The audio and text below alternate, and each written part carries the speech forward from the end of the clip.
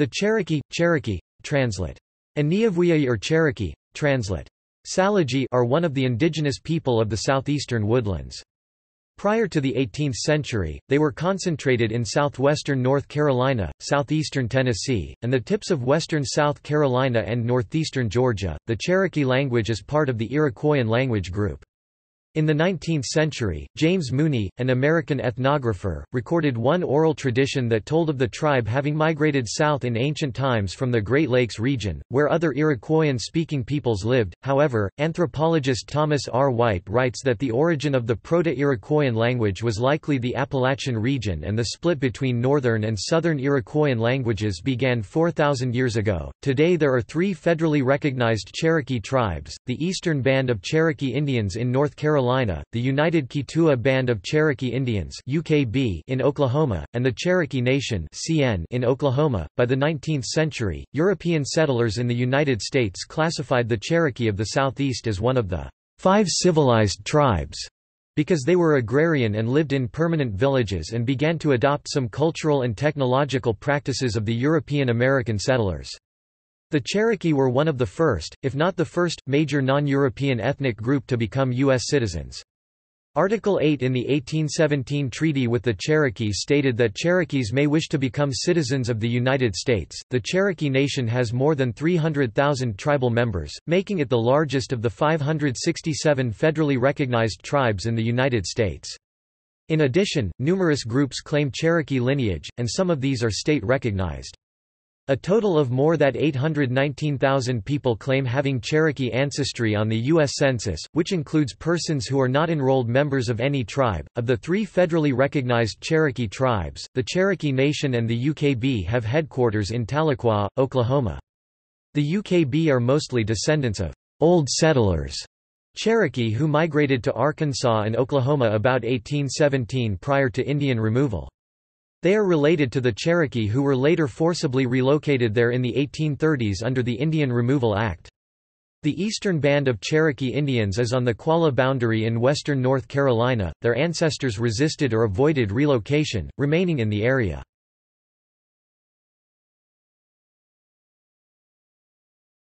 Topic: Name A Cherokee language name for Cherokee people is Aniavuyai, translating as principal people. Tsalagi is the Cherokee word for Cherokee. Many theories, though none proven, abound about the origin of the name Cherokee. It may have originally been derived from the Choctaw word Chalaki, which means people who live in the mountains, or Choctaw Kai Luk Ik Bai, meaning people who live in the cave country. The earliest Spanish transliteration of the name, from 1755, is recorded as Chalaque. Another theory is that Cherokee derives from a Lower Creek word Sivlak, Chu Log G. The Iroquois Five Nations based in New York have historically called the Cherokee Oyatajaranon, inhabitants of the cave country. Also the word Cherokee means people of different speech.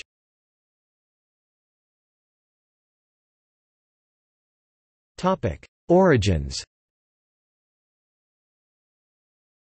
Anthropologists and historians have two main theories of Cherokee origins. One is that the Cherokee, an Iroquoian-speaking people, are relative latecomers to southern Appalachia, who may have migrated in late prehistoric times from northern areas around the Great Lakes, the traditional territory of the Haudenosaunee nations and other Iroquoian-speaking peoples. Another theory is that the Cherokee had been in the southeast for thousands of years. Researchers in the 19th century recorded conversations with elders who recounted an oral tradition of the Cherokee people migrating south from the Great Lakes region in ancient times.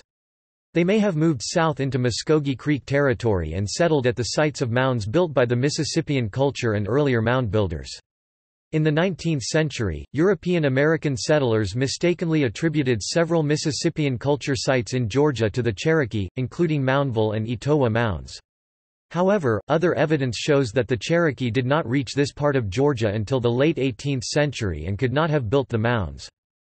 The Connestee people, believed to be ancestors of the Cherokee, occupied western North Carolina circa 200 to 600 CE. Pre-contact Cherokee are considered to be part of the later Pisgah phase of southern Appalachia, which lasted from circa 1000 to 1500. Despite the consensus among most specialists in Southeast archaeology and anthropology, some scholars contend that ancestors of the Cherokee people lived in western North Carolina and eastern Tennessee for a far longer period of time.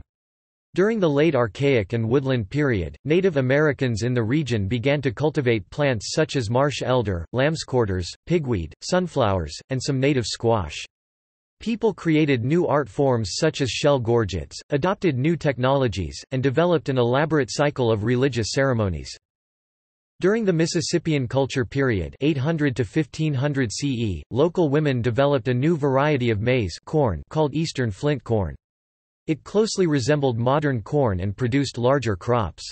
The successful cultivation of corn surpluses allowed the rise of larger, more complex chiefdoms consisting of several villages and concentrated populations during this period. Corn became celebrated among numerous peoples in religious ceremonies, especially the green corn ceremony.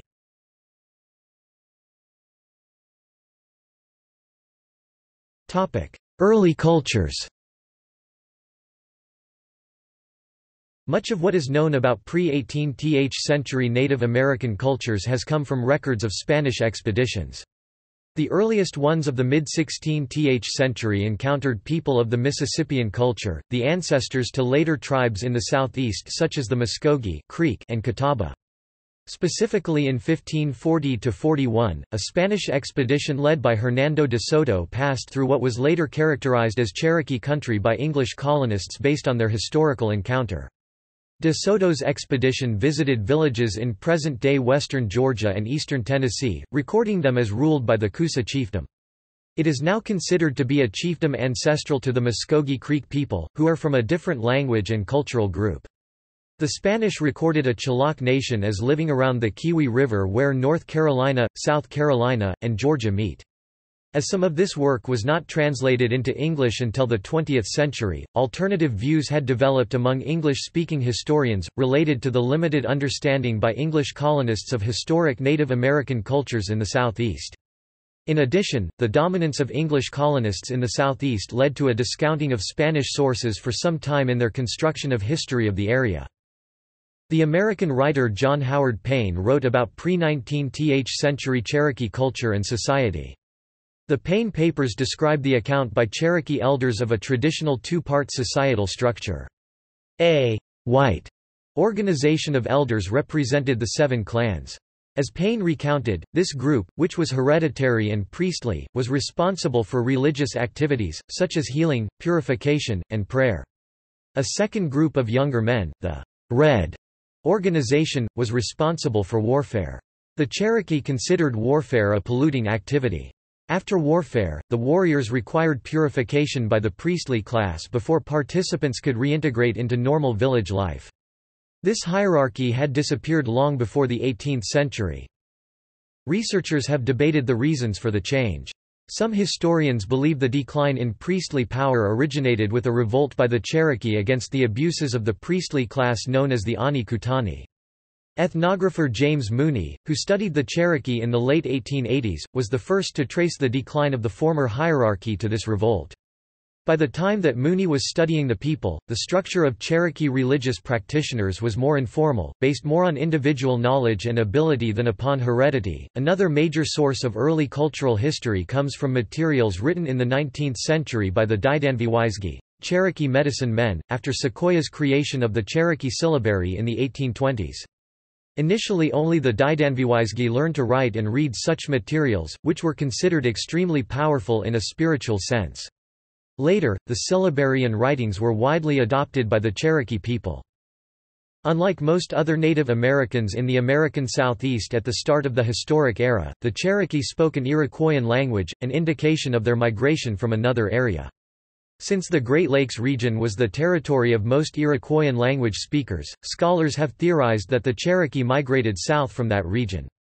This view is supported by the Cherokee oral history tradition. According to the scholar's theory, the Tuscarora, another Iroquoian-speaking people who inhabited the southeast in historic times, and the Cherokee broke off from the major group during its northern migration. Other historians hold that, judging from linguistic and cultural data, the Tuscarora people migrated south from other Iroquoian-speaking people in the Great Lakes region in ancient times. After extended harsh warfare in the southeast, in the 1700s, the Tuscarora left the area and returned to the New York area, counting their tribal migration complete by 1722. The Iroquois Five Nations accepted the Tuscarora as the sixth nation of their political confederacy, known as the Haudenosaunee. Linguistic analysis shows a relatively large difference between Cherokee and the northern Iroquoian languages, suggesting they had migrated long ago. Scholars posit a split between the groups in the distant past, perhaps 3,500 to 3,800 years ago. Glottochronology studies suggest the split occurred between about 1500 and 1800 BCE. The Cherokee have claimed the ancient settlement of Kituwa on the Tuckasegee River as the original Cherokee settlement in the southeast. It was formerly adjacent to and is now part of Qualla Boundary the reserve of the Eastern Band of Cherokee Indians in North Carolina.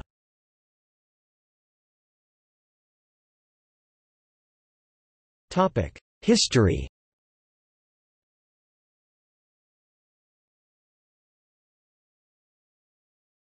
17th century, English contact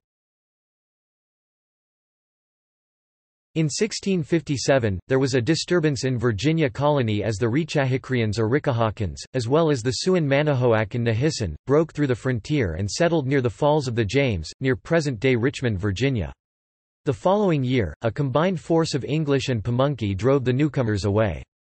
The identity of the Rechahecrians has been much debated. Historians noted the name closely resembled that recorded for the Erie Crenan or Arielhonan, commonly known as the Erie tribe, another Iroquoian-speaking people based near the Great Lakes. This Iroquoian people had been driven away from the southern shore of Lake Erie in 1654 by the powerful Iroquois Five Nations, who were seeking more hunting grounds. The anthropologist Martin Smith theorized some remnants of the tribe migrated to Virginia after the wars 1986 to 131-32, later becoming known as the Westo to English in the Carolina colony. A few historians suggest this tribe was Cherokee. Virginian traders developed a small scale trading system with the Cherokee in the Piedmont before the end of the 17th century. The earliest recorded Virginia trader to live among the Cherokee was Cornelius Doherty or Doherty, in 1690. The Cherokee were among the Native American peoples who sold the traders Indian slaves for use as laborers in Virginia and further north. They took them as captives in raids on enemy tribes. 18th century The Cherokee gave sanctuary to a band of Shawnee in the 1660s, but from 1710 to 1715 the Cherokee and Chickasaw allied with the British, and fought the Shawnee, who were allied with the French, and forced them to move northward. The Cherokee fought with the Yamasee, Catawba, and British in late 1712 and early 1713 against the Tuscarora in the Second Tuscarora War. The Tuscarora War marked the beginning of a British-Cherokee relationship that, despite breaking down on occasion, remained strong for much of the 18th century. With the growth of the deerskin trade, the Cherokee were considered valuable trading partners, since deer skins from the cooler country of their mountain hunting grounds were of a better quality than those supplied by the lowland tribes who were neighbors of the English colonists. In January 1716, Cherokee murdered a delegation of Muskogee Creek leaders at the town of Tugaloo, marking their entry into the Yamasee War. It ended in 1717 with peace treaties between the colony of South Carolina and the Creek. Hostility and sporadic raids between the Cherokee and Creek continued for decades.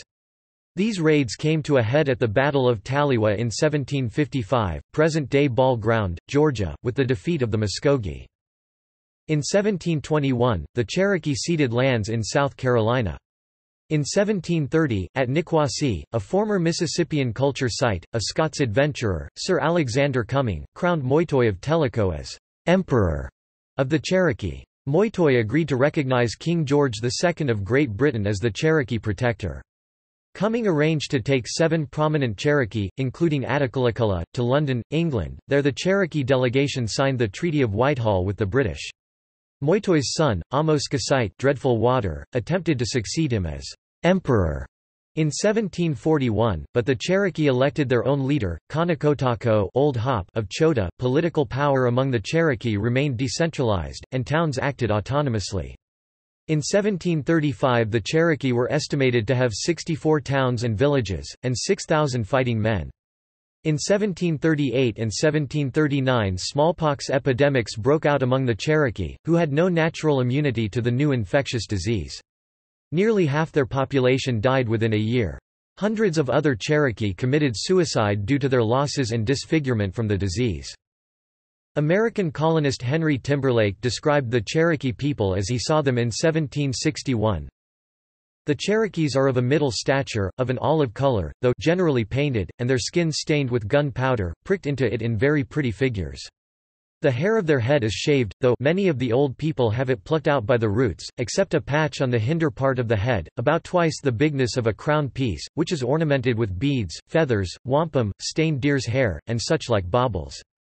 The ears are slit and stretched to an enormous size, putting the person who undergoes the operation to incredible pain, being unable to lie on either side for nearly 40 days. To remedy this, they generally slit but one at a time, so soon as the patient can bear it, they wound round with wire to expand them, and are adorned with silver pendants and rings, which they likewise wear at the nose. This custom does not belong originally to the Cherokees, but taken by them from the Shawnees, or other northern nations. They that can afford it wear a collar of wampum, which are beads cut out of clam shells, a silver breastplate, and bracelets on their arms and wrists of the same metal, a bit of cloth over their private parts, a shirt of the English make, a sort of cloth boots, and moccasins sick, which are shoes of a make peculiar to the Americans, ornamented with porcupine quills, a large mantle or match coat thrown over all complete their dress at home. From 1753 to 1755, battles broke out between the Cherokee and Muskogee over disputed hunting grounds in North Georgia. The Cherokee were victorious in the Battle of Taliwa. British soldiers built forts in Cherokee country to defend against the French in the Seven Years' War, which was fought across Europe and was called the French and Indian War on the North American front. These included Fort Loudoun near Chota. In 1756 the Cherokee were allies of the British in the French and Indian War. Serious misunderstandings arose quickly between the two allies, resulting in the 1760 Anglo-Cherokee War. King George III's royal proclamation of 1763 forbade British settlements west of the Appalachian Crest, as his government tried to afford some protection from colonial encroachment to the Cherokee and other tribes. The Crown found the ruling difficult to enforce with colonists. In 1771 to 1772, North Carolinian settlers squatted on Cherokee lands in Tennessee, forming the Watauga Association. Daniel Boone and his party tried to settle in Kentucky, but the Shawnee, Delaware, Mingo, and some Cherokee attacked a scouting and forage party that included Boone's son. The American Indians used this territory as a hunting ground by right of conquest, it had hardly been inhabited for years. The conflict in Kentucky sparked the beginning of what was known as Dunmore's War 1773 -1774. In 1776, allied with the Shawnee led by Cornstalk, Cherokee attacked settlers in South Carolina, Georgia, Virginia, and North Carolina in the Second Cherokee War. Overhill Cherokee Nancy Ward, Dragging Canoe's cousin, warned settlers of impending attacks. Provincial militias retaliated, destroying more than 50 Cherokee towns. North Carolina militia in 1776 and 1780 invaded and destroyed the Overhill towns. In 1777, surviving Cherokee town leaders signed treaties with the new states. Dragging Canoe and his band settled along Chickamauga Creek near present-day Chattanooga, Tennessee, where they established 11 new towns. Chickamauga Town was his headquarters and the colonists tended to call his entire band the Chickamauga to distinguish them from other Cherokee. From here he fought a guerrilla war against settlers, which lasted from 1776 to 1794. These are known informally as the Cherokee-American Wars, but this is not an historian's term. The first Treaty of Tellico Blockhouse, signed November 7, 1794, finally brought peace between the Cherokee and Americans, who had achieved independence from the British Crown. In 1805, the Cherokee ceded their lands between the Cumberland and Duck Rivers i.e. the Cumberland Plateau to Tennessee.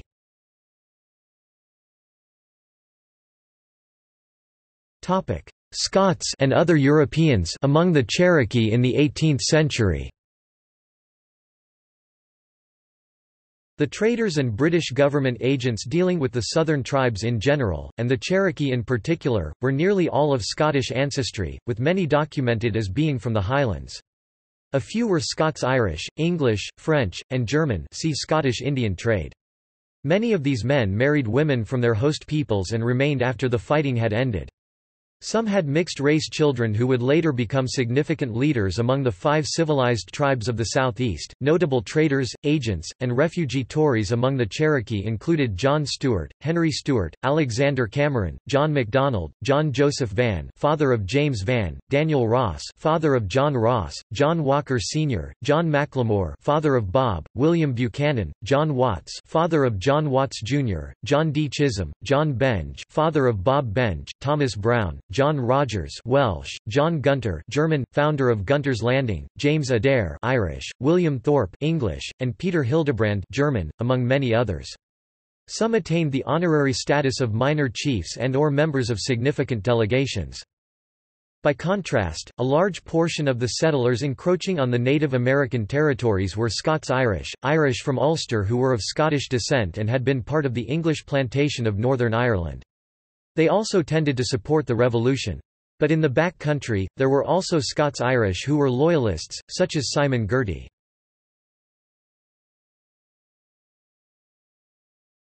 Topic: 19th century.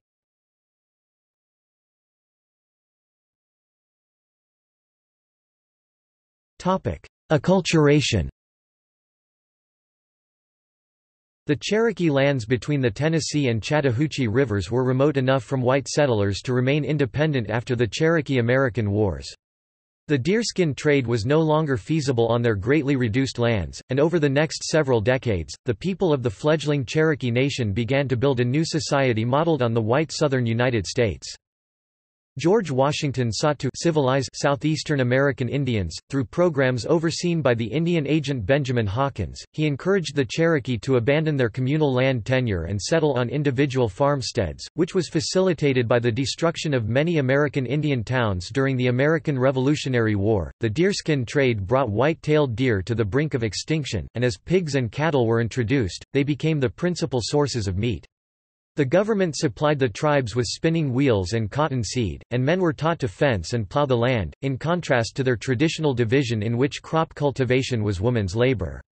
Americans instructed the women in weaving. Eventually Hawkins helped them set up smithies, gristmills and cotton plantations.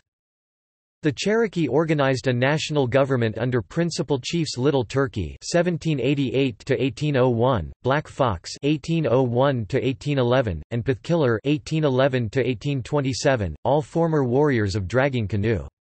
The Cherokee Triumvirate of James Vann and his protégés The Ridge and Charles R. Hicks advocated acculturation, formal education, and modern methods of farming. In 1801 they invited Moravian missionaries from North Carolina to teach Christianity and the arts of civilized life. The Moravians and later Congregationalist missionaries ran boarding schools, and a select few students were educated at the American Board of Commissioners for Foreign Missions School in Connecticut. In 1806 a federal road from Savannah, Georgia to Knoxville, Tennessee was built through Cherokee land. Chief James Vann opened a tavern, inn and ferry across the Chattahoochee and built a cotton plantation on a spur of the road from Athens, Georgia to Nashville. His son Rich Joe Vann developed the plantation to 800 acres 3.2 square kilometers, cultivated by 150 slaves. He exported cotton to England, and owned a steamboat on the Tennessee River. The Cherokee allied with the U.S. against the nativist and pro-British Red Stick faction of the Upper Creek in the Creek War during the War of 1812. Cherokee warriors led by Major Ridge played a major role in General Andrew Jackson's victory at the Battle of Horseshoe Bend. Major Ridge moved his family to Rome, Georgia, where he built a substantial house, developed a large plantation and ran a ferry on the Oostanaula River. Although he never learned English, he sent his son and nephews to New England to be educated in mission schools. His interpreter and protégé Chief John Ross, the descendant of several generations of Cherokee women and Scots fur traders, built a plantation and operated a trading firm and a ferry at Ross Landing Chattanooga, Tennessee. During this period, divisions arose between the acculturated elite and the great majority of Cherokee, who clung to traditional ways of life. Around 1809 Sequoyah began developing a written form of the Cherokee language. He spoke no English, but his experiences as a silversmith dealing regularly with white settlers, and as a warrior at Horseshoe Bend, convinced him the Cherokee needed to develop writing. In 1821, he introduced Cherokee syllabary, the first written syllabic form of an American Indian language outside of Central America. Initially his innovation was opposed by both Cherokee traditionalists and white missionaries, who sought to encourage the use of English. When Sequoyah taught children to read and write with the syllabary, he reached the adults. By the 1820s, the Cherokee had a higher rate of literacy than the whites around them in Georgia. In 1819, the Cherokee began holding council meetings at New Town, at the headwaters of the Oostanaula near present-day Calhoun, Georgia. In November 1825, New Town became the capital of the Cherokee Nation, and was renamed New Echota, after the Overhill Cherokee principal town of Chota. Sequoyah's syllabary was adopted. They had developed a police force, a judicial system, and a national committee. In 1827, the Cherokee Nation drafted a constitution modeled on the United States, with executive, legislative and judicial branches and a system of checks and balances. The two-tiered legislature was led by Major Ridge and his son John Ridge. Convinced the tribe's survival required English-speaking leaders who could negotiate with the U.S., the legislature appointed John Ross as principal chief. A printing press was established at New Echota by the Vermont missionary Samuel Worcester and Major Ridge's nephew Elias Boudinot, who had taken the name of his white benefactor, a leader of the Continental Congress and New Jersey congressman. They translated the Bible into Cherokee syllabary. Boudinot published the first edition of the bilingual Cherokee Phoenix, the first American Indian newspaper, in February 1828. Topic: Removal era Before the final removal to present-day Oklahoma, many Cherokees relocated to present-day Arkansas, Missouri and Texas. Between 1775 and 1786 the Cherokee, along with people of other nations such as the Choctaw and Chickasaw, began voluntarily settling along the Arkansas and Red Rivers. In 1802, the federal government promised to extinguish Indian titles to lands claimed by Georgia in return for Georgia's cession of the western lands that became Alabama and Mississippi. To convince the Cherokee to move voluntarily in 1815, the U.S. government established a Cherokee reservation in Arkansas. The reservation boundaries extended from north of the Arkansas River to the southern bank of the White River. Duwali the Bull, Sequoyah, Spring Frog and Tatsi Dutch and their bands settled there. These Cherokees became known as Old Settlers. The Cherokee, eventually, migrated as far north as the Missouri Bootheel by 1816. They lived interspersed among the Delawares and Shawnees of that area. The Cherokee and Missouri Territory increased rapidly in population, from 1,000 to 6,000 over the next year 1816 to 1817, according to reports by Governor William Clark. Increased conflicts with the Osage Nation led to the Battle of Claremore Mound and the eventual establishment of Fort Smith between Cherokee and Osage communities. In the Treaty of St. Louis 1825, the Osage were made to cede and relinquish to the United States, all their right, title, interest, and claim, to lands lying within the state of Missouri and territory of Arkansas." To make room for the Cherokee and the Mashku, Muskogee Creeks. As late as the winter of 1838, Cherokee and Creek living in the Missouri and Arkansas areas petitioned the War Department to remove the Osage from the area. A group of Cherokee traditionalists led by Duwali moved to Spanish Texas in 1819. Settling near Nacogdoches, they were welcomed by Mexican authorities as potential allies against Anglo-American colonists. The Texas Cherokees were mostly neutral during the Texas War of Independence. In 1836, they signed a treaty with Texas President Sam Houston, an adopted member of the Cherokee tribe. His successor Mirabeau Lamar sent militia to evict them in 1839.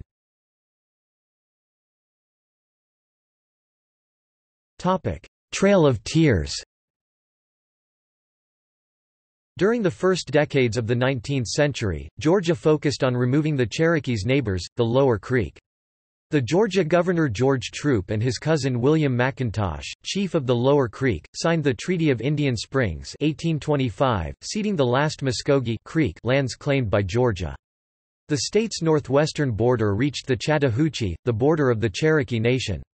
In 1829, gold was discovered at Dahlonega, on Cherokee land claimed by Georgia. The Georgia Gold Rush was the first in U.S. history, and state officials demanded that the federal government expel the Cherokee. When Andrew Jackson was inaugurated as president in 1829, Georgia gained a strong ally in Washington. In 1830 Congress passed the Indian Removal Act, authorizing the forcible relocation of American Indians east of the Mississippi to a new Indian territory. Andrew Jackson said the removal policy was an effort to prevent the Cherokee from facing extinction as a people, which he considered the fate that the Mohegan, the Narragansett, and the Delaware had suffered. But, there is ample evidence that the Cherokee were adapting modern farming techniques. A modern analysis shows that the area was in general in a state of economic surplus and could have accommodated both the Cherokee and new settlers. The Cherokee brought their grievances to a U.S. judicial review that set a precedent in Indian country. John Ross traveled to Washington, D.C., and won support from National Republican Party leaders Henry Clay and Daniel Webster. Samuel Worcester campaigned on behalf of the Cherokee in New England, where their cause was taken up by Ralph Waldo Emerson see Emerson's 1838 letter to Martin Van Buren. In June 1830, a delegation led by Chief Ross defended Cherokee rights before the U.S. Supreme Court in Cherokee Nation v. Georgia. In 1831 Georgia militia arrested Samuel Worcester for residing on Indian lands without a state permit, imprisoning him in Milledgeville. In Worcester v. Georgia 1832, the U.S. Supreme Court Chief Justice John Marshall ruled that American Indian nations were distinct, independent political communities retaining their original natural rights, and entitled to federal protection from the actions of state governments that infringed on their sovereignty. Worcester v. Georgia is considered one of the most important dicta in law dealing with Native Americans. Jackson ignored the Supreme Court's ruling, as he needed to conciliate Southern sectionalism during the era of the nullification crisis. His landslide re-election in 1832 emboldened calls for Cherokee removal. Georgia sold Cherokee lands to its citizens in a land lottery, and the state militia occupied New Echota. The Cherokee National Council, led by John Ross, fled to Red Clay, a remote valley north of Georgia's land claim. Ross had the support of Cherokee traditionalists, who could not imagine removal from their ancestral lands. A small group known as the Ridge Party, or the Treaty Party, saw relocation as inevitable and believed the Cherokee Nation needed to make the best deal to preserve their rights in Indian Territory. Led by Major Ridge, John Ridge and Elias Boudinot, they represented the Cherokee elite, whose homes, plantations and businesses were confiscated, or under threat of being taken by white squatters with Georgia land titles. With capital to acquire new lands, they were more inclined to accept relocation. On December 29, 1835, the Ridge Party signed the Treaty of New Echota, stipulating terms and conditions for the removal of the Cherokee Nation.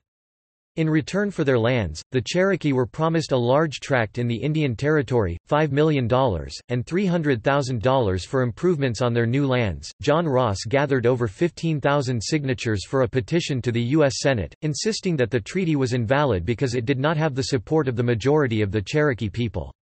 The Senate passed the Treaty of New Echota by a one-vote margin. It was enacted into law in May 1836. Two years later, President Martin Van Buren ordered 7,000 federal troops and state militia under General Winfield Scott into Cherokee lands to evict the tribe. Over 16,000 Cherokee were forcibly relocated westward to Indian Territory in 1838 to 1839, a migration known as the Trail of Tears or in Cherokee or NVNA Dala Tsvyi the trail where they cried, although it is described by another word Tlova saw the removal. Marched over 800 miles 1,300 kilometers across Tennessee, Kentucky, Illinois, Missouri and Arkansas, the people suffered from disease, exposure and starvation, and as many as 4,000 died. As some Cherokees were slaveholders, they took enslaved African Americans with them west of the Mississippi. Intermarried European Americans and missionaries also walked the Trail of Tears. Ross preserved a vestige of independence by negotiating permission for the Cherokee to conduct their own removal under U.S. supervision, in keeping with the tribe's blood law that prescribed the death penalty for Cherokee who sold lands. Ross's son arranged the murder of the leaders of the Treaty Party on June 22, 1839, a party of 25 Ross supporters assassinated Major Ridge, John Ridge and Elias Boudinot. The party included Daniel Colston, John Vann, Archibald, James and Joseph Spear. Boudinot's brother Stand Watie fought and survived that day, escaping to Arkansas. In 1827, Sequoyah had led a delegation of old settlers to Washington, D.C. to negotiate for the exchange of Arkansas land for land in Indian Territory. After the Trail of Tears, he helped mediate divisions between the old settlers and the rival factions of the more recent arrivals. In 1839, as president of the Western Cherokee, Sequoyah signed an act of union with John Ross that reunited the two groups of the Cherokee Nation.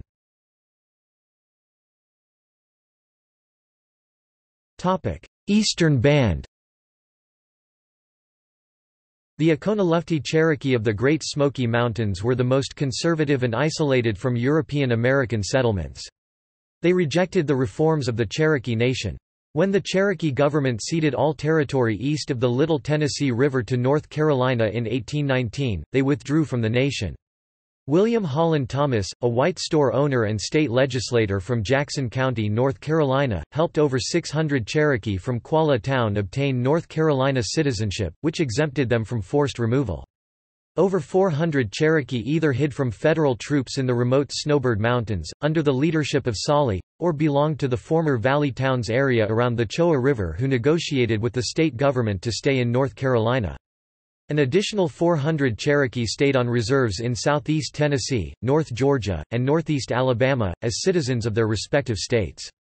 They were mostly mixed race and Cherokee women married to white men. Together, these groups were the ancestors of the federally recognized Eastern Band of Cherokee Indians, and some of the state-recognized tribes in surrounding states.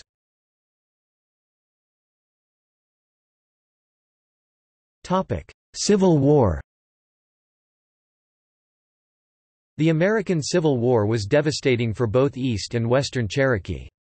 The Eastern Band, aided by William Thomas, became the Thomas Legion of Cherokee Indians and Highlanders, fighting for the Confederacy in the American Civil War. Cherokee in Indian Territory divided into Union and Confederate factions, with most supporting the Confederacy. Stand Watie, the leader of the Ridge Party, raised a regiment for Confederate service in 1861. John Ross, who had reluctantly agreed to ally with the Confederacy, was captured by Federal troops in 1862. He lived in self-imposed exile in Philadelphia, supporting the Union. In Indian Territory, the National Council of those who supported the Union voted to abolish slavery in the Cherokee Nation in 1863, but they were not the majority slaveholders and the vote had little effect on those supporting the Confederacy. Watie was elected principal chief of the pro-Confederacy majority. A master of hit-and-run cavalry tactics, Watie fought those Cherokee loyal to John Ross and Federal troops in Indian Territory and Arkansas, capturing Union supply trains and steamboats, and saving a Confederate army by covering their retreat after the Battle of Pea Ridge in March 1862. He became a brigadier general of the Confederate States. The only other American Indian to hold the rank in the American Civil War was Ely S. Parker with the Union Army. On June 25, 1865, two months after Robert E. Lee surrendered at Appomattox, Stand Watie became the last Confederate general to stand down.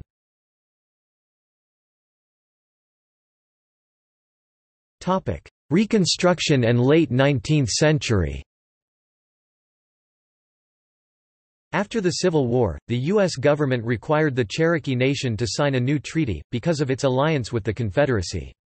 The U.S. required the 1866 treaty to provide for the emancipation of all Cherokee slaves, and full citizenship to all Cherokee freedmen and all African Americans who chose to continue to reside within tribal lands, so that they shall have all the rights of native Cherokees. Both before and after the Civil War, some Cherokee intermarried or had relationships with African Americans, just as they had with whites. Many Cherokee freedmen have been active politically within the tribe. The U.S. government also acquired easement rights to the western part of the territory, which became the Oklahoma Territory, for the construction of railroads. Development and settlers followed the railroads. By the late 19th century, the government believed that Native Americans would be better off if each family owned its own land. The Dawes Act of 1887 provided for the breakup of commonly held tribal land into individual household allotments. Native Americans were registered on the Dawes rolls and allotted land from the Common Reserve. The U.S. government counted the remainder of tribal land as surplus and sold it to non-Cherokee individuals. The Curtis Act of 1898 dismantled tribal governments, courts, schools, and other civic institutions. For Indian Territory, this meant abolition of the Cherokee courts and governmental systems. This was seen as necessary before the Oklahoma and Indian Territories could be admitted as a combined state. In 1905, the five civilized tribes of the Indian Territory proposed the creation of the state of Sequoyah as one to be exclusively Native American, but failed to gain support in Washington, D.C. In 1907, the Oklahoma and Indian Territories entered the Union as the state of Oklahoma. By the late 19th century, the eastern band of Cherokee were laboring under the constraints of a segregated society. In the aftermath of Reconstruction, conservative white Democrats regained power in North Carolina and other southern states. They proceeded to effectively disenfranchise all blacks and many poor whites by new constitutions and laws related to voter registration and elections. They passed Jim Crow laws that divided society into white and colored mostly to control freedmen. Cherokee and other Native Americans were classified on the colored side and suffered the same racial segregation and disenfranchisement as former slaves. They also often lost their historical documentation for identification as Indians, when the southern states classified them as colored. Blacks and Native Americans would not have their constitutional rights as U.S. citizens enforced until after the civil rights movement secured passage of civil rights legislation in the mid-1960s, and the federal government began to monitor voter registration and elections, as well as other programs.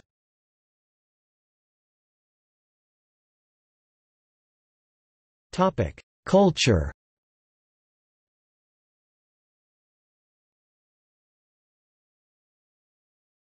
Topic: Cultural institutions. The Qualla Arts and Crafts Mutual, Inc., of Cherokee, North Carolina is the oldest continuing Native American art cooperative. They were founded in 1946 to provide a venue for traditional Eastern Band Cherokee artists. The Museum of the Cherokee Indian, also in Cherokee, displays permanent and changing exhibits, houses archives and collections important to Cherokee history, and sponsors cultural groups, such as the Warriors of the AniKituhwa Dance Group. In 2007, the Eastern Band of Cherokee Indians entered into a partnership with Southwestern Community College and Western Carolina University to create the Oconaluftee Institute for Cultural Arts (OICA) to emphasize Native art and culture in traditional fine arts education, thus preserving preserving traditional art forms and encouraging exploration of contemporary ideas. Located in Cherokee, OICA offered an associate's degree program. In August 2010, OICA acquired a letterpress and had the Cherokee syllabary recast to begin printing one-of-a-kind fine art books and prints in the Cherokee language. In 2012, the Fine Art degree program at OICA was incorporated into Southwestern Community College and moved to the SCC Swain Center, where it continues to operate. The Cherokee Heritage Center, of Park Hill, Oklahoma hosts a reproduction of an ancient Cherokee village, Adams Rural Village, including 19th century buildings, Nofire Farms, and the Cherokee Family Research Center for Genealogy. The Cherokee Heritage Center also houses the Cherokee National Archives. Both the Cherokee Nation of Oklahoma and the United Keetoowah Band of Cherokee, as well as other tribes, contribute funding to the CHC.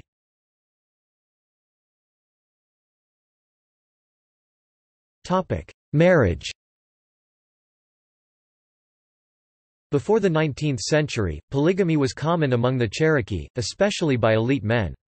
The matrilineal culture meant that women controlled property, such as their dwellings, and their children were considered born into their mother's clan, where they gained hereditary status. Advancement to leadership positions was generally subject to approval by the women elders. In addition, the society was matrifocal, customarily, a married couple lived with or near the woman's family, so she could be aided by her female relatives. Her oldest brother was a more important mentor to her sons than was their father, who belonged to another clan. Traditionally, couples, particularly women, can divorce freely. It was unusual for a Cherokee man to marry a European American woman. The children of such a union were disadvantaged, as they would not belong to the nation. They would be born outside the clans and traditionally were not considered Cherokee citizens. This is because of the matrilineal aspect of Cherokee culture. As the Cherokee began to adopt some elements of European American culture in the early 19th century, they sent elite young men, such as John Ridge and Elias Boudinot to American schools for education. After Ridge had married a European-American woman from Connecticut and Boudinot was engaged to another, the Cherokee Council in 1825 passed a law making children of such unions full citizens of the tribe, as if their mothers were Cherokee. This was a way to protect the families of men expected to be leaders of the tribe. In the late 19th century, the U.S. government put new restrictions on marriage between a Cherokee and non-Cherokee, although it was still relatively common. A European American man could legally marry a Cherokee woman by petitioning the federal court, after gaining approval of ten of her blood relatives. Once married, the man had status as an intermarried white a member of the Cherokee tribe with restricted rights, for instance, he could not hold any tribal office. He remained a citizen of and under the laws of the United States. Common law marriages were more popular.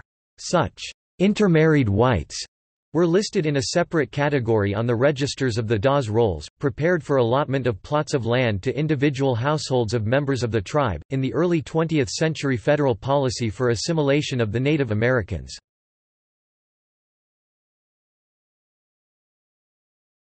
Ethnobotany See Cherokee ethnobotany Topic: Language and writing system.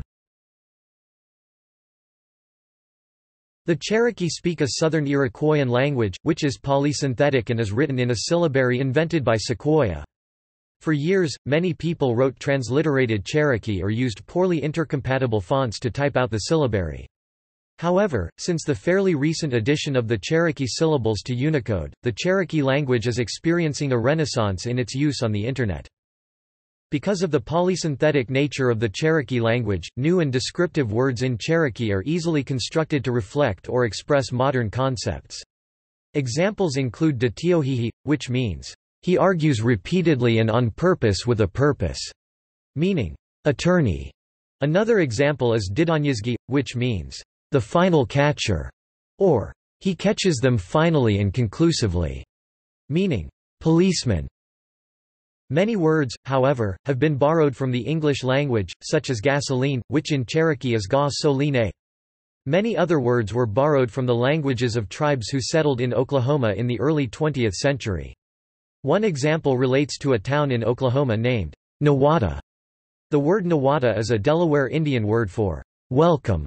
More precisely the Delaware word is nu waita which can mean welcome or friend in the Delaware language. The white settlers of the area used the name Nowata for the township, and local Cherokees, being unaware the word had its origins in the Delaware language, called the town Amatakanibnigna, which means, the water is all gone from here i.e., no water. Other examples of borrowed words are kawi, for coffee and watsi, for watch which led to Utana watsi, or big watch, for clock. The following table is an example of Cherokee text and its translation.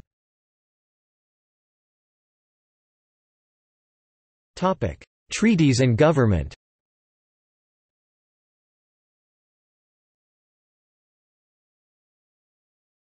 Topic: Treaties. The Cherokee have participated in at least 36 treaties in the past 300 years.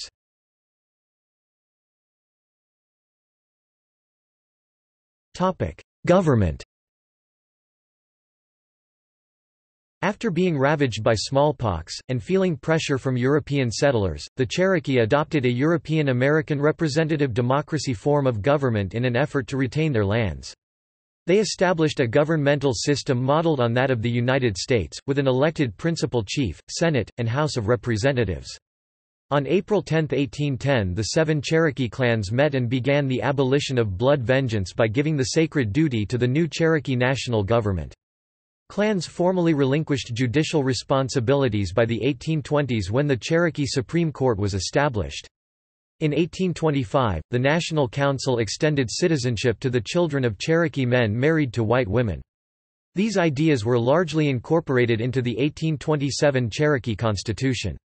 The Constitution stated that no person who is of Negro or mulatto sick parentage, either by the father or mother's side, shall be eligible to hold any office of profit, honor or trust under this government", with an exception for Negroes and descendants of white and Indian men by Negro women who may have been set free."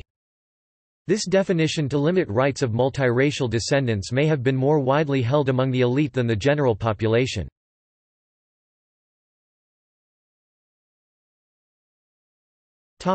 Modern Cherokee tribes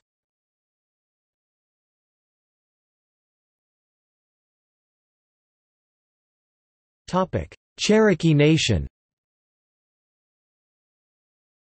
During 1898–1906 the federal government dissolved the former Cherokee Nation, to make way for the incorporation of Indian Territory into the new state of Oklahoma.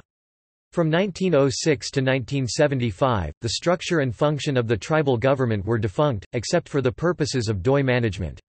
In 1975 the tribe drafted a constitution, which they ratified on June 26, 1976, and the tribe received federal recognition. In 1999, the CN changed or added several provisions to its constitution, among them the designation of the tribe to be Cherokee Nation, dropping of Oklahoma. According to a statement by BIA head Larry Echo Hawk the Cherokee Nation is not the historical Cherokee tribe but instead a successor in interest the attorney of the Cherokee Nation has stated that they intend to appeal this decision. The modern Cherokee Nation, in recent times, has experienced an almost unprecedented expansion in economic growth, equality, and prosperity for its citizens.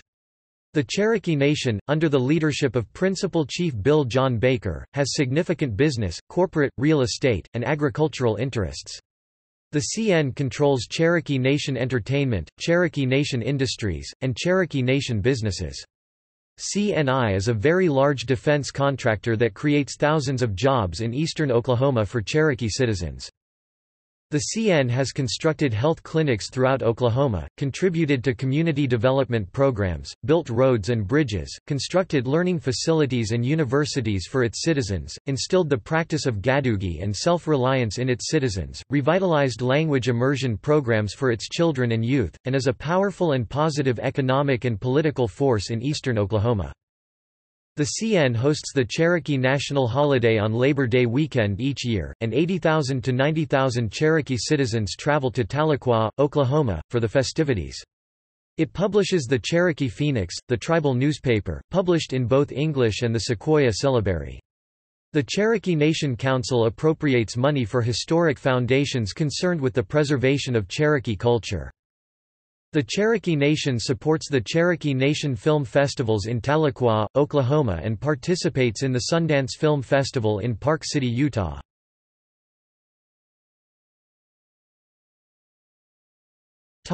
Eastern Band of Cherokee Indians The Eastern Band of the Cherokee Indians in North Carolina, led by Chief Richard Sneed, hosts over a million visitors a year to cultural attractions of the 100 square mile 260 square kilometers sovereign nation. The reservation, the Qualla Boundary, has a population of over 8,000 Cherokee, primarily direct descendants of Indians who managed to avoid the Trail of Tears. Attractions include the Oconaluftee Indian Village, Museum of the Cherokee Indian, and the Qualla Arts and Crafts Mutual. Founded in 1946, the Qualla Arts and Crafts Mutual is country's oldest and foremost Native American crafts cooperative. The outdoor drama Unto These Hills, which debuted in 1950, recently broke record attendance sales. Together with Harrah's Cherokee Casino and Hotel, Cherokee Indian Hospital and Cherokee Boys Club, the tribe generated $78 million in the local economy in 2005.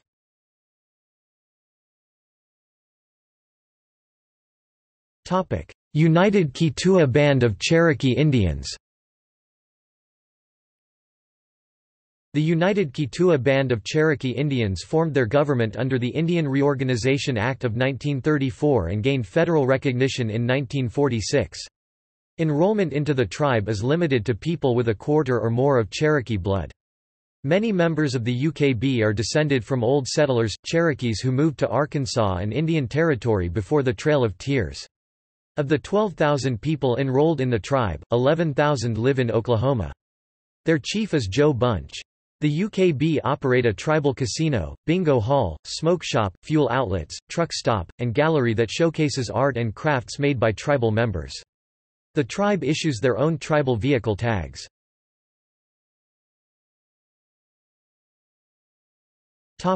Relations among the three federally recognized Cherokee tribes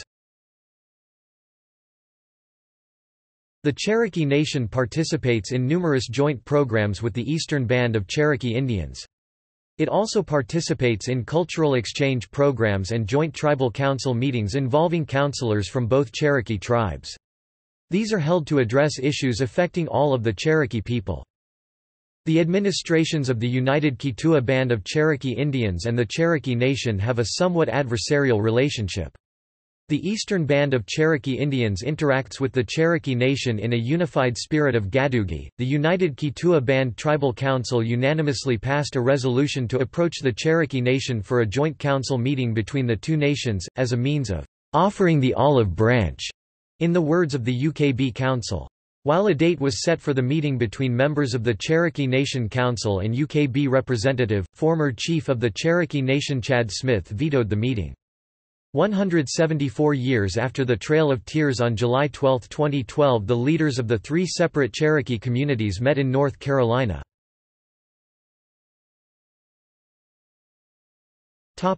Contemporary settlement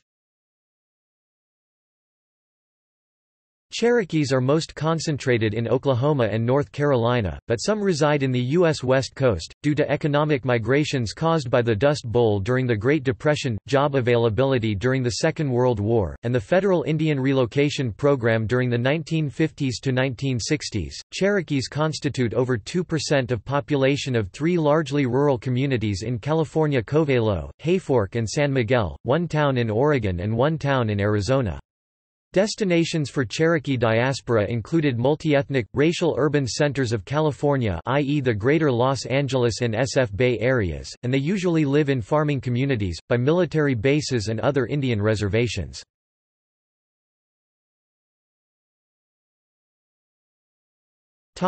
Membership controversies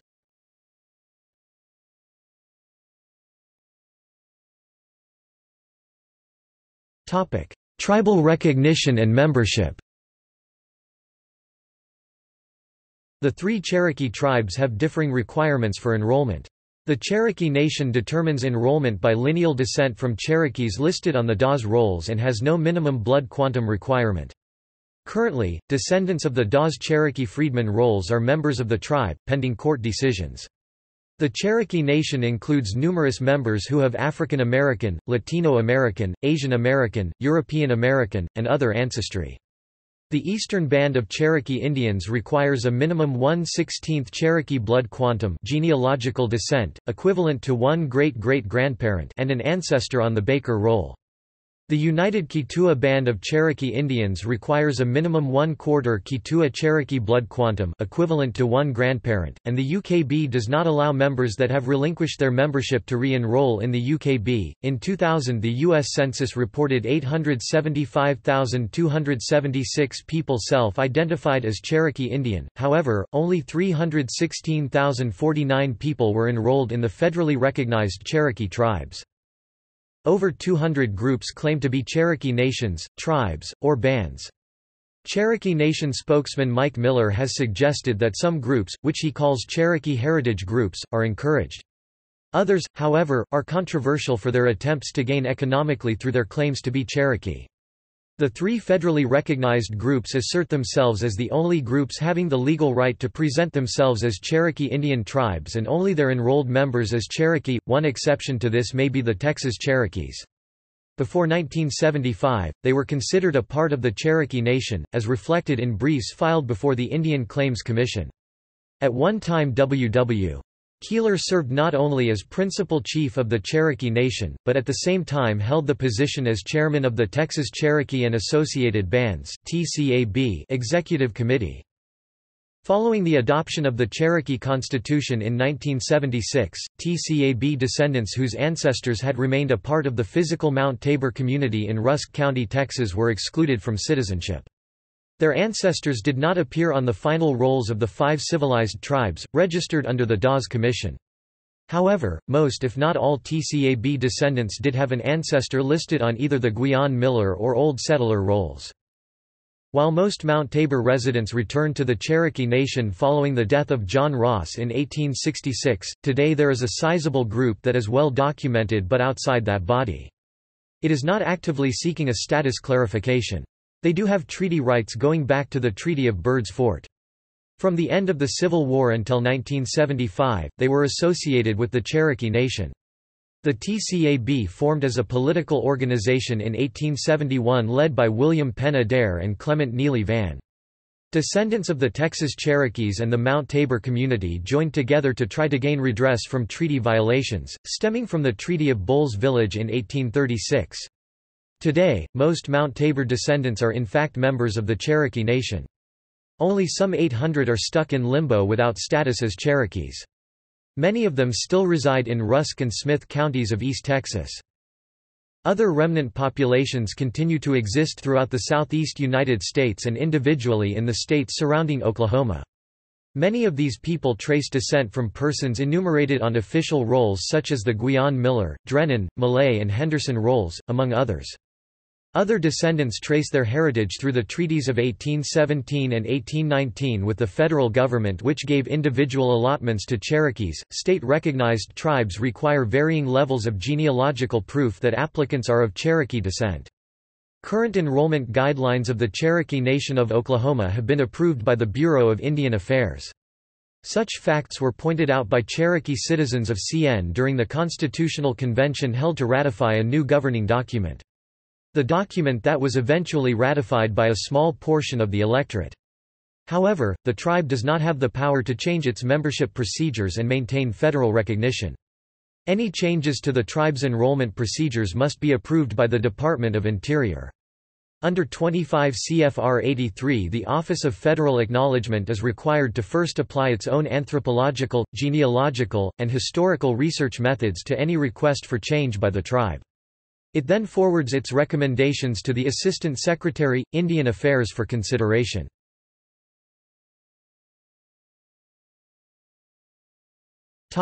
Cherokee freedmen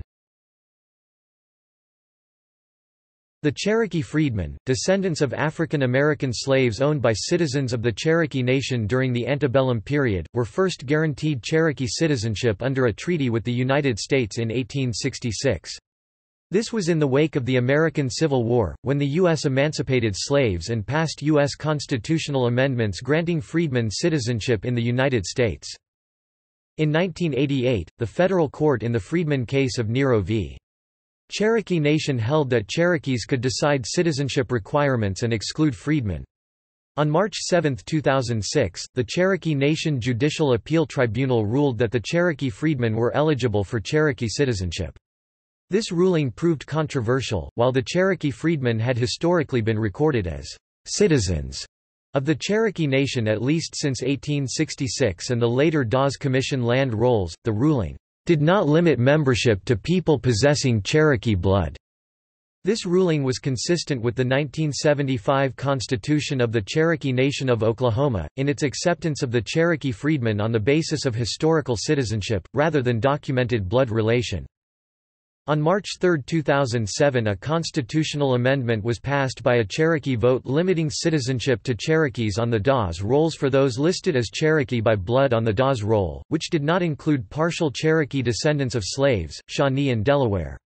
The Cherokee freedmen had 90 days to appeal this amendment vote which disenfranchised them from Cherokee citizenship and file appeal within the Cherokee Nation Tribal Council, which is currently pending in Nash, et al. v.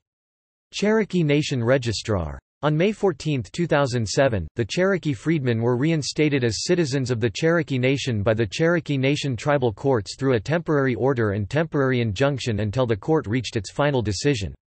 On January 14, 2011, the Tribal District Court ruled that the 2007 constitutional amendment was invalid because it conflicted with the 1866 treaty guaranteeing the freedmen's rights.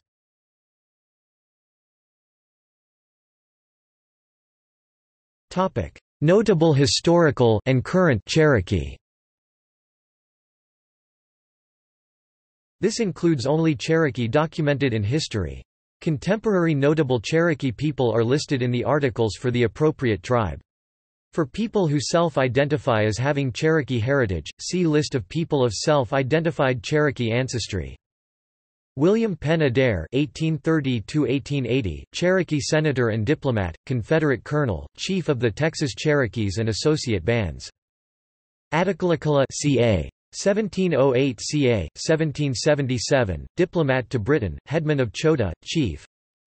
Bob Benge ca. 1762–1794, warrior of the Lower Cherokee during the Cherokee-American Wars Elias Boudinot, Galagina (1802–1839), statesman, orator, and editor, founded first Cherokee newspaper, Cherokee Phoenix.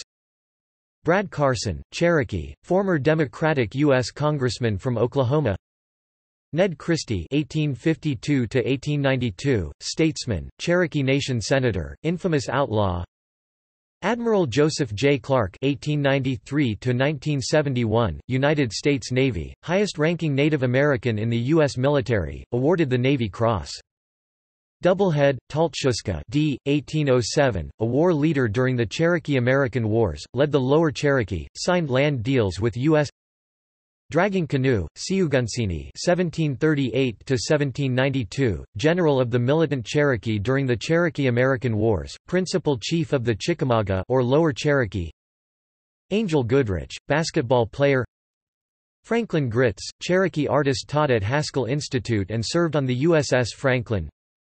Charles R. Hicks d. 1827, veteran of the Red Stick War, second principal chief to Pathkiller in early 17th century, de facto principal chief from 1813 to 1827 Junaluska ca. 1775–1868, veteran of the Creek War, who saved President Andrew Jackson's life Oconostota, Aganstada beloved man ca. 1710–1783, war chief during the Anglo-Cherokee War Ostenaco, Ustanaqua ca. 1703–1780, war chief, diplomat to Britain, founded the town of Ultiwa Major Ridgeganandalaji or Pathkiller ca.1771–1839, veteran of the Cherokee-American Wars and the Red Stick War, signer of the Treaty of New Echota John Ridge, Skatulowski (1792–1839), son of Major Ridge, statesman, New Echota Treaty signer.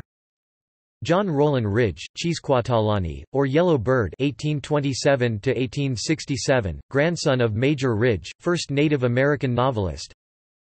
R. Lynn Riggs (1899–1954), author, poet, and playwright. His play Green Grow the Lilacs was the basis of the Broadway hit Oklahoma. Clement V. Rogers (1839–1911), U.S. Senator, Judge, Cattleman, member of the Oklahoma Constitutional Convention. Will Rogers (1879–1935), entertainer, roper, journalist, and author. John Ross, Guwisgui (1790–1866), veteran of the Red Stick War, principal chief in the East during removal and in the West. Mary G. Ross (1908–2008), scientist and engineer, worked for NASA. Sequoyah ca. 1767–1843, inventor of the Cherokee syllabary. Nimrod Jarrett Smith, Saladihi (1837–1893), principal chief of the Eastern Band, Civil War veteran. Redbird Smith (1850–1918), traditionalist, political activist, and chief of the Nighthawk Keetoowah Society.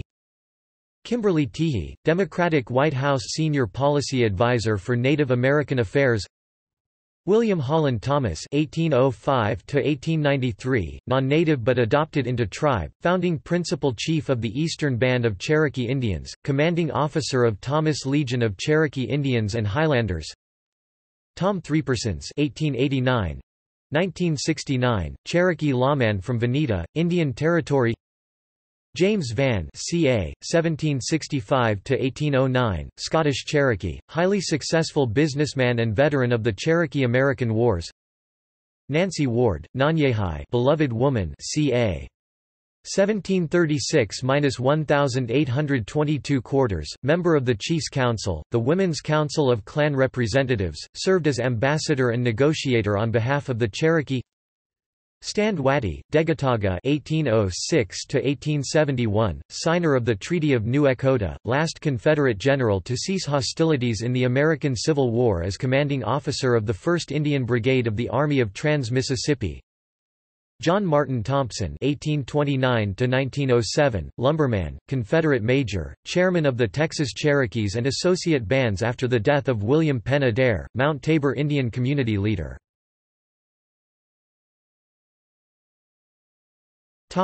See also. Moon-eyed people. Black drink. Black Indians in the United States. Booger dance. One drop rule. Notes